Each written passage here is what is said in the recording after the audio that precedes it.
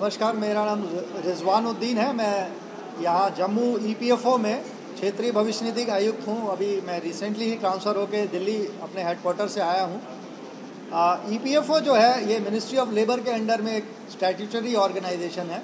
इससे पहले जम्मू कश्मीर और लद्दाख का जो प्रोविडेंट फंड और पेन का जो जो रिकॉर्ड्स था वो जे के ई में मेंटेन किया जाता था।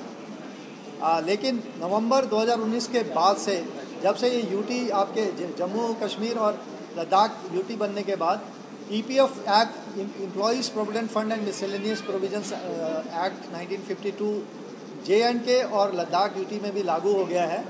और इसके आने के बाद यहाँ पे जो कर्मचारी गण हैं, जो भी प्राइवेट सेक्टर के कर्मचारी हैं, जिस, जहाँ भी यह एक्ट लागू होता है, इन सबको एक एडिशनल जो बेनिफिट मिलेगा, वो है पेंशन स्कीम का। ईपीएफ के द्वारा जो पेंशन दी जाती है, उसमें हर कर्मचारी को जो भी कर्मचारी किसी संस्थान में कार्यरत है, उसको और उसके परिवार को पेंशन की पात्रता हो जाती है। यदि वो 10 साल तक पीएफ का मेंबर रहा हो और उसका कंट्रीब्यूशन आया हो।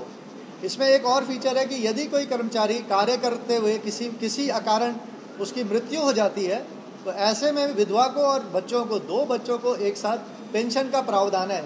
ये प्रावधान जे के ई पी एफ़ एक्ट में जो इससे पुराना एक्ट था, उसमें नहीं था यहाँ पे कर्मचारियों को तो एक नया लाभ ये प्राप्त होगा। हमारा कार्यालय यहाँ पर जम्मू रेलवे रोड पे, जम्मू रीजनल ऑफ़िस है ईपीएफओ का, और ये जम्मू, श्रीनगर और लद्दाख के कर्मचारियों को सेवा निर्बाध रूप से दे रहा है। इसके अलावा हमारा एक क्षेत्रीय कार्यालय श्रीनगर में भी खोला गया है, जहाँ पे कि अभी इन्फोर्समेंट ऑफिसर और हमारे कुछ सोशल सिक्योरिटी असिस्टेंट वहाँ पे तीन लोग काम कर रहे हैं और कुछ आउटसोर्स वर्कर हैं। लेकिन वहाँ के भी जो दावा प्रपत्र हैं, वो जम्मू कार्यालय द्वारा ही हम निष्पादित कर रहे हैं। इसके अलावा लद्दाख में लेबर कमिश्नर ऑफ़िस में हमारा एक छोटा सा डिस्ट्रिक्ट ऑफ़िस खोला गया है और लद्दाख के लोगों लोगों को भी यहाँ सेवा दी जा रही है।